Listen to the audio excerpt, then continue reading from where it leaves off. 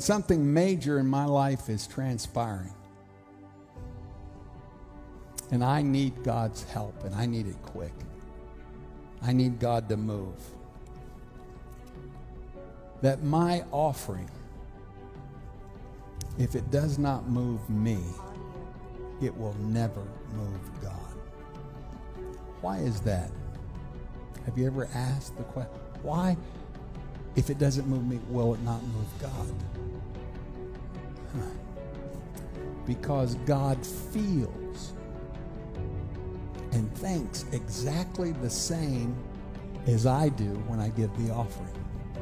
What does that mean? It means that He literally shares my feelings.